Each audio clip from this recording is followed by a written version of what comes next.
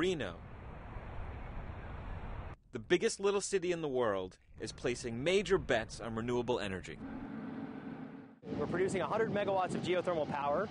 100 megawatts is enough to supply the entire residential load of the city of Reno. Here's how it works. What we do is we drill wells, we bring up hot water, and that's kind of like our fuel source. It heats a working fluid, which turns to a vapor, builds pressure, turns a turbine, which spins and produces electricity.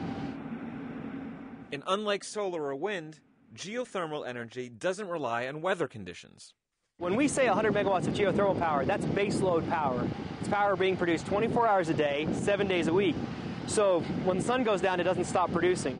Geothermal may produce energy on a constant basis, but can it compete on price with lower cost power from coal or natural gas? The geothermal industry says it can, and without the emissions.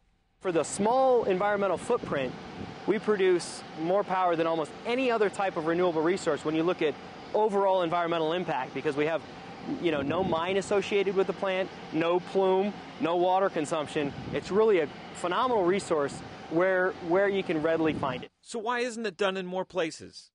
Most geothermal plants are currently located near geological hotspots where hot water is near the surface. But can this technology work in places without heavy seismic activity, like New York?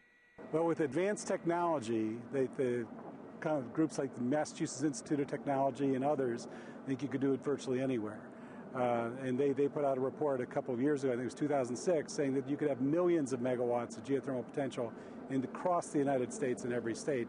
But we're not there yet. We could develop these plants in New York or D.C. We'd have to drill incredibly deep wells that are incredibly expensive, and it would, it, the plants might not become financially viable. And while the Department of Energy and the geothermal industry continue to study ways to make drilling cheaper, the only places currently wagering on geothermal are western hotspots like Utah, California, or Nevada.